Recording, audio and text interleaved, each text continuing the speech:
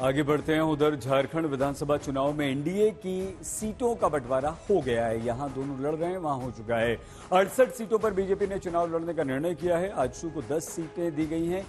JDU को दो सीटों पर चुनाव लड़वाने का गठबंधन ने निर्णय किया है और एलजेपी को चतरा की एक सीट दी गई है, यानी कि कुल इक्यासी सीटों का निर्णय झारखंड में बीजेपी और गठबंधन में हो चुका है और सबसे अधिक अड़सठ सीटों पर बीजेपी चुनाव लड़ रही है। चुनाव एनडीए का हिसाब से लड़ना था।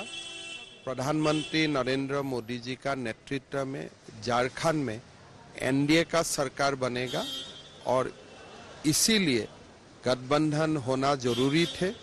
आज गठबंधन का स्वरूप सबका सामने आ चुका है और हम लोग गठबंधन का हिसाब से ही चुनाव लड़ूँगा। इस समय एक बड़ी खबर आ रही है एनडीए में झारखंड सीट शेयरिंग के ऐलान के बाद जीतन राम मांझी का बयान आया है।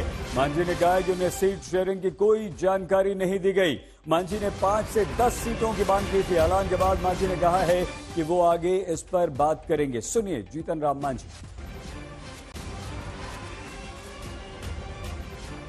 हमको हमको पता नहीं है। आप ही ग्यारह की मांग कर रहे थे सर। हाँ ठीक है हम मांग करते हैं तो अभी समय नहीं गया है। बात होगी बात होगी अभी। आप क्या करेंगे सर?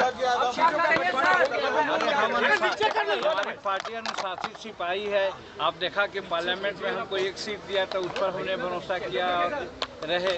उसी प्रकार से झारखंड में हमने 10 सीट की बात की है 5 सीट की बात की है 3 सीट की भी बात की है। अगर उस पर विचार नहीं होगा देखा जाएगा मांग मैं करूँगा।